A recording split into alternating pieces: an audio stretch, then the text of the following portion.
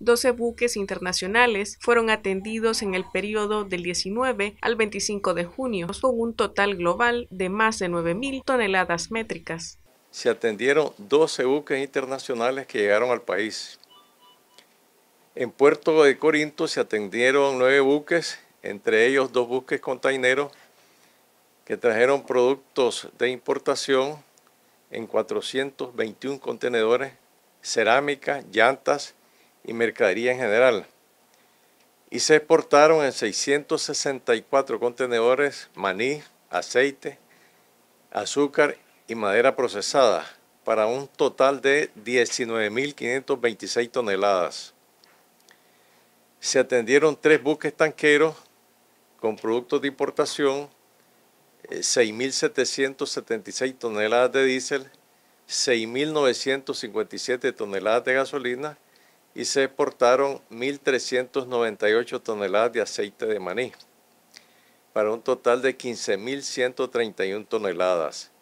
Se atendieron cuatro buques graneleros, 1.321 eh, toneladas de fosfato de amonio, 8.141 toneladas de urea, 923 toneladas de nitrato de amonio, 3.253 toneladas de muriato de potasio y 30.000 toneladas de trigo, para un total de 43.638 toneladas.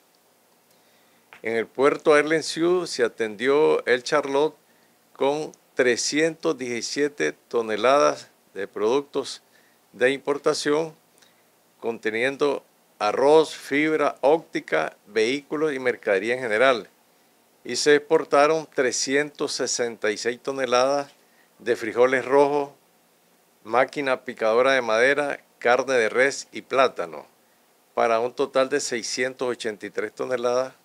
También se atendieron cuatro barcos de cabotajes nacionales con 474 toneladas de productos.